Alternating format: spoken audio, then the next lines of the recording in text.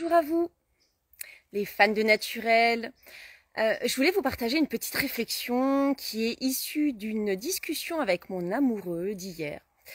Euh, et hum, on parlait d'autonomie alimentaire. Et en fait, moi, il y a quand même quelque chose qui m'embête par rapport au fait d'être euh, autonome au niveau de mon alimentation, et je lui partageais ça.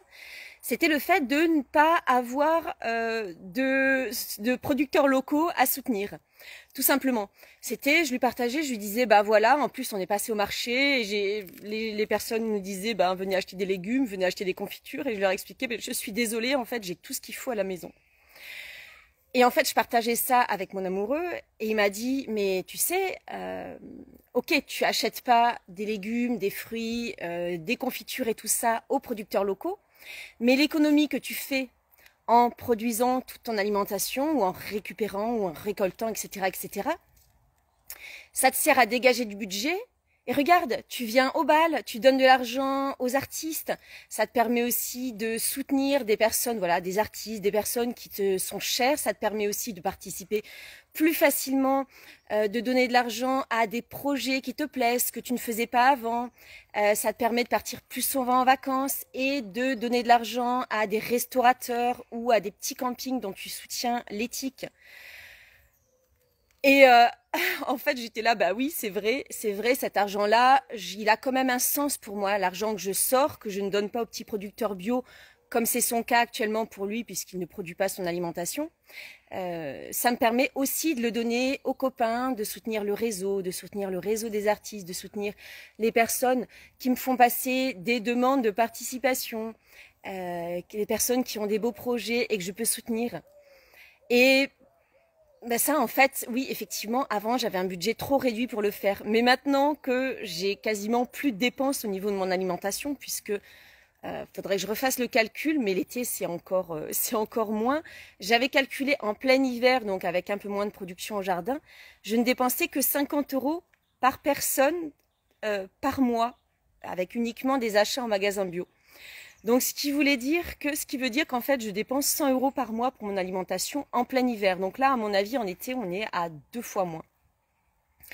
Et tout ce budget que j'économise, ces centaines d'euros que j'économise par mois, maintenant, effectivement, ça me permet de le réinsuffler. Alors effectivement, pas dans des producteurs de légumes, pas dans des producteurs euh, de confitures ou d'aliments que j'ai déjà. J'achète plus de sirop, j'achète plus de confitures, j'achète plus de conserves, plus de légumes, plus de fruits quasiment mais je le réinsuffle quand même localement auprès d'artistes, auprès de restaurateurs et auprès d'amis qui ont besoin de financement pour des projets personnels ou des projets professionnels.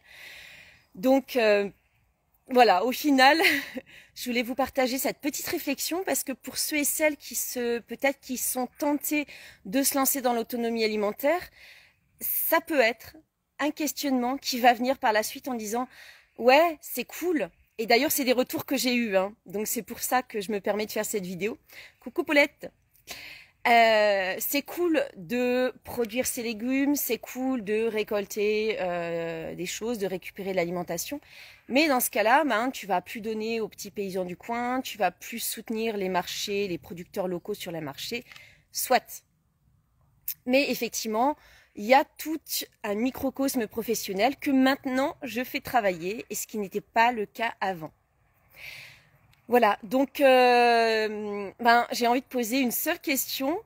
Qu'est-ce que toi tu ferais, euh, qui, regarde cette vidéo en direct ou en rediffusion, qu'est-ce que toi tu ferais si tu économisais comme moi euh, environ 300 à 400 euros par mois?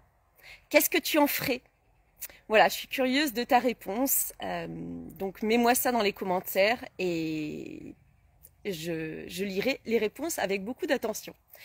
Je vous fais à tous et à toutes de gros bisous et bah, je pars au marché. J'ai quand même quelques trucs à acheter. Je n'ai pas de concombre, je n'ai pas euh, de miel. Et donc, il y a quand même quelques aliments que j'achète à mes petits producteurs locaux. Donc, j'y vais avant qu'il soit trop tard. Je vous souhaite une bonne journée. Ciao, ciao.